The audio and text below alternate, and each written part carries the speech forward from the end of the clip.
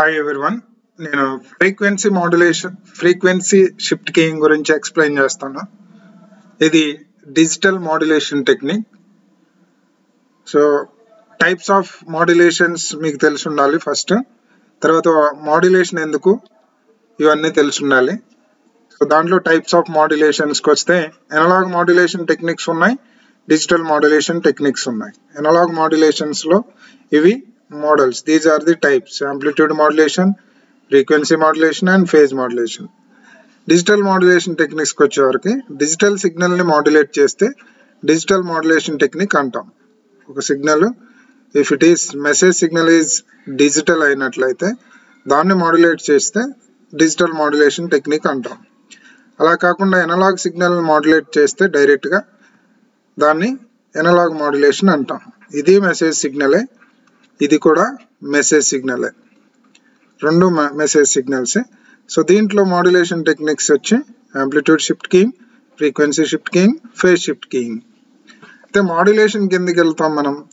ఒక సిగ్నల్ని ఒక audio signal కానీ ఒకవేళ ఇది ఆడియో సిగ్నల్ అనుకుంటే audio signal equivalent EM wave అనుకుంటే మీరు హలో అని మాట్లాడినట్లయితే దీన్ని ఎనలాగ్ కింద కన్వర్ట్ చేసినప్పుడు ఎలక్ట్రోమాగ్నెటిక్ వేవ్ అనుకోండి. సో ఇది ఆడియో సిగ్నల్. దీన్ని నేను లాంగ్ డిస్టెన్స్ కమ్యూనికేట్ చేయడానికి లాంగ్ డిస్టెన్స్ ట్రాన్స్మిట్ చేయాలంటే మీకు ఇది మాడ్యులేట్ చేయాలి. బికాస్ ఇది low స్ట్రెంగ్త్లో frequency signal audio signal frequency జనరల్గా ట్వంటీ హెడ్జ్ నుంచి ట్వంటీ కిలో హెడ్జ్ వరకు మాత్రమే ఉంటుంది. సో అందుకని లాంగ్ డిస్టెన్స్ ట్రాన్స్మిట్ చేయాలంటే హై ఫ్రీక్వెన్సీ సిగ్నల్స్ కావాలి. ఎఫ్ఎం రేడియో సిగ్నల్ తీసుకుంటే వన్ నాట్ ఎయిట్ నుంచి ఎయిటీ ఎయిట్ నుంచి one naught eight mega hertz వరకు ఉంటుంది సిగ్నల్ ఫ్రీక్వెన్సీ సో ఇంత ఫ్రీక్వెన్సీ లేదు కాబట్టి దీన్ని మనం మాడ్యులేషన్స్కి వెళ్తాం. సో డిజిటల్ మాడ్యులేషన్ అవని లేదా ఎనలాగ్ మాడ్యులేషన్ టెక్నిక్స్ అయినా అవని యాంటీనా హైట్ని తగ్గించడం లేదంటే లాంగ్ డిస్టెన్స్ కమ్యూనికేట్ చేయడం కోసం మనం మాడ్యులేషన్స్కి వెళ్తాం.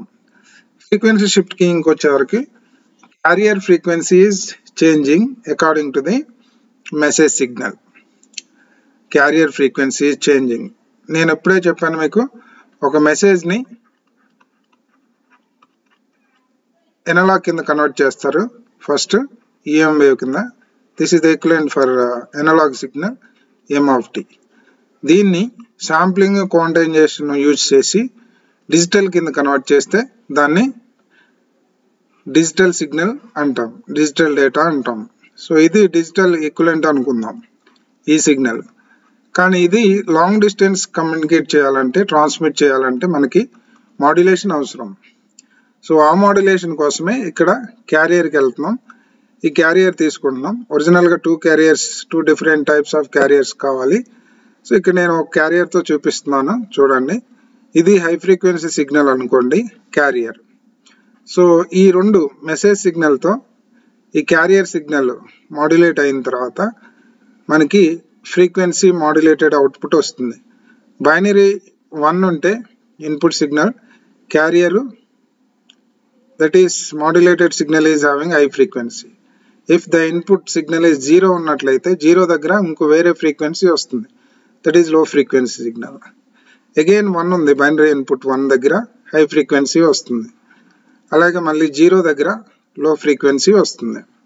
సో ఇలాగా the frequency shifting according to the message signal binary one ఉంటే ఒక ఫ్రీక్వెన్సీ బైనరీ జీరో అంటే ఒక frequency so this is frequency is shifting according to the message that's it is FSK అంటారు. ఎఫ్ఎస్కే సిగ్నల్ ఇక్కడ చూడండి ట్రాన్స్మిటర్లో binary input signal ఇది. Binary input zero one zero one అనుకుందాం. One zero one zero. One ఉన్నప్పుడు ఈ switch on అవుతుంది carrier one. ఇది కూడా క్యారియరే. క్యారియర్ వన్ కనెక్ట్ అవుతుంది ఇక్కడ ఒక ఫ్రీక్వెన్సీ జనరేట్ అవుతుంది.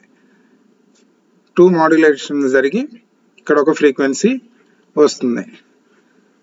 బైనరీ జీరో ఉన్నప్పుడు ఈ స్విచ్ కనెక్ట్ అవుతుంది ఆసిలేటర్ టు. సో ఇక్కడ ఒక ఫ్రీక్వెన్సీ జనరేట్ అవుతుంది. అలాగే మళ్ళీ వన్ ఉన్నప్పుడు హై ఫ్రీక్వెన్సీ వస్తుంది జీరో ఉన్నప్పుడు స్లో ఫ్రీక్వెన్సీ వస్తుంది. ఇది ఫైనల్గా FSK modulated output signal now we can transmit long distance communication modulate అయిన తర్వాత హై ఫ్రీక్వెన్సీ ఉంది కాబట్టి we can send long distance communication ఇక్కడికి వచ్చేవరకు చూడండి సేమ్ ఇన్పుట్ సిగ్నల్ వన్ ఉంటే ఈ స్విచ్ కనెక్ట్ అయింది హై ఫ్రీక్వెన్సీని జనరేట్ చేసింది. ఇన్పుట్ సిగ్నల్ జీరో అయితే ఈ స్విచ్ కనెక్ట్ అవుతుంది లో ఫ్రీక్వెన్సీ జనరేట్ అవుతుంది.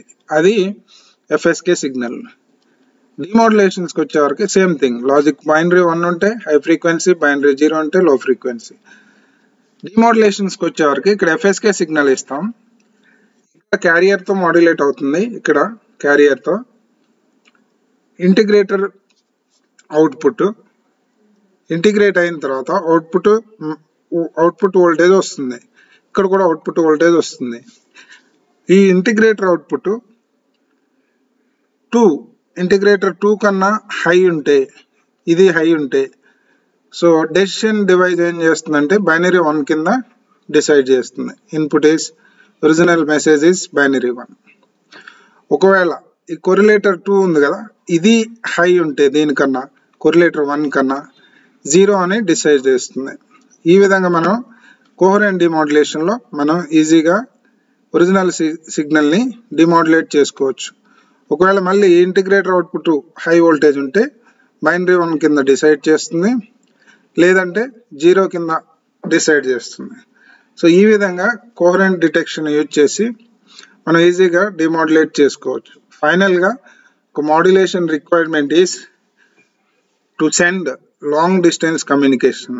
And one more thing after modulation digital modulation టెక్నిక్స్లో digital signal అనుకుంటారు. కానీ మాడ్యులేషన్ తర్వాత వచ్చేది మనకి అనలాగ్ సిగ్నలే. లాంగ్ డిస్టెన్స్ కమ్యూనికేషన్ మాత్రమే మన మాడ్యులేషన్కి వెళ్ళి అనలాగ్ కింద కన్వర్ట్ చేస్తున్నాం. మళ్ళీ అక్కడ రిసీవర్ దగ్గర డిజిటల్ డిమాడ్యులేషన్ యూజ్ చేసి డిజిటల్ కింద కన్వర్ట్ చేసుకోవాలి. So these are the this is about frequency shift keying thank you మీకు ఏమైనా డౌట్స్ ఉంటే కెన్ సెండ్ టు మీ